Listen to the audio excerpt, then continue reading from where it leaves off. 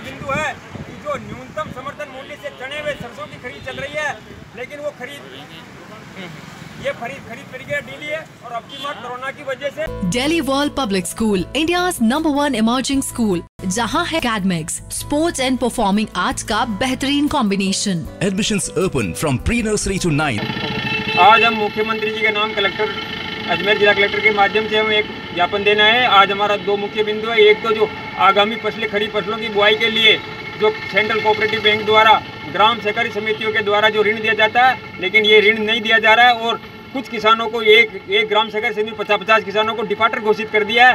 तो उन उन अब, अवधि पार किसानों को भी लोन मिले। डेढ़ साल से वो चक्कर काट रहे हैं और वो अगर उनको पैसा नहीं मिलेगा तो आगामी बुआई कैसे करेंगे? और दूसरी बात है कि जो न्यूनतम समर्थन मूल्य पे चने व सरसों की खरीद चल रही है, सरकारी खरीद। ये खरीद अब की बार कोरोना की वजह से एक महीना लेट है। ये एक अप्रैल से चलनी थी, लेकिन एक मई से चालू हुई। तो अब और ये नब्बे दिन की खरीद है, लेकिन अब आगामी 25 जून से मानसून आने वाला है।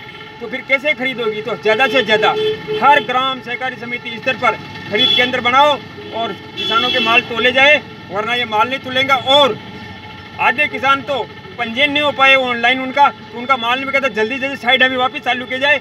इन दो तीन मांगों को लेकर हम आए हैं कि चने की खरीदो और क्वालिटी के नाम भी किसानों को परेशान किया जा रहा है। तो उनको परेशान नहीं किया जाए। ये दो तीन मांगे हैं। तत्काल इन पे मुख्यमंत्री महोदय से आगे है कि इनके आप हमारा तत्काल इन पे रिलीफ दिया जाए किसानों को। आप किससे मिलने आए कलेक्टर साहब से। मैं बालूराम बीचर जिला अध्यक्ष किसान महापंचायत अजमेर। दूसरा बिंदु है कि जो न्यूनतम समर्थन मूल्य से चने हुए सरसों की खरीद चल रही है लेकिन वो खरीद ये खरीद खरीद प्रक्रिया ढीली है और अब की बार कोरोना की वजह से अल्पकालीन फसली ऋण दिया जा रहा है लेकिन कुछ किसानों को डेढ़ साल से उनको डिफाल्टर घोषित किया गया है।